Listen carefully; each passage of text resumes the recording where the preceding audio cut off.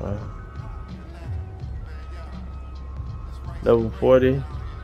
I thought you get something else at level 40. Get a lot of VC in that Hall of Fame pass.